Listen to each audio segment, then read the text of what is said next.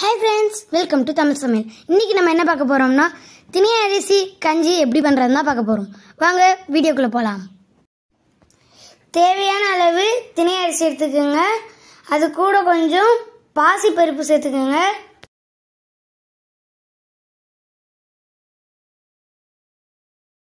அது கூட தண்ணியை விட்டு ரெண்டு மூணு வாட்டி அலசி எடுத்துக்கோங்க.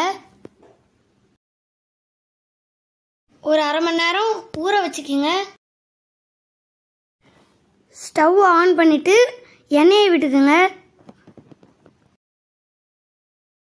எண்ணெய் சூடானோடனே ஜீரகம் சேர்த்துக்குங்க. அது கூட கருவேப்பிலையை சேர்த்துக்குங்க. பொடி பொடியாக நறுக்கி வச்சுருக்க வெங்காயத்தை சேர்த்துக்குங்க. நல்லா வதக்கி விட்டுக்குங்க. தக்காளியை கட் பண்ணி சேர்த்துக்குங்க. நல்லா கிளறி விட்டுக்குங்க.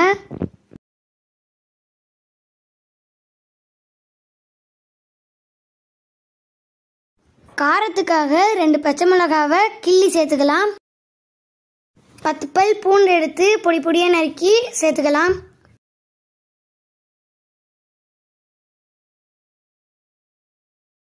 இது நல்லா வதங்கிடுச்சு.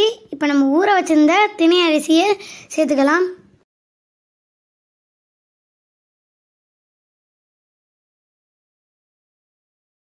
கஞ்சிக்கு தேவையான அளவு தண்ணி சேர்த்துக்கலாம்.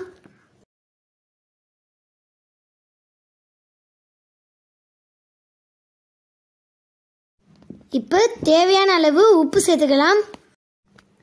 குக்கரை மூடி போட்டு மூடி அப்புறம் சிம்மில் வச்சுட்டு ஒரு விசில் வர வரைக்கும் நம்ம காத்திருக்கலாம்.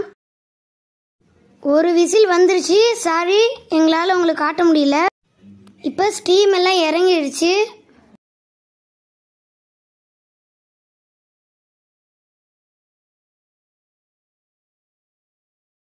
இப்போ சுவையான கஞ்சி ரெடி ஆயிடுச்சு. இந்த வீடியோ உங்களுக்கு பிடிக்கும்னு நினைக்கிறேன். பிடிச்சிருந்தா லைக் பண்ணுங்கள் ஷேர் பண்ணுங்கள் கமெண்ட் பண்ணுங்கள் மேலும் இது போல் வீடியோக்களுக்கு சப்ஸ்கிரைப் பட்டனை கிளிக் பண்ணிடுங்க. மறக்காமல் பக்கத்தில் இருக்க பெல் பட்டனையும் கிளிக் பண்ணிடுங்க. பாய்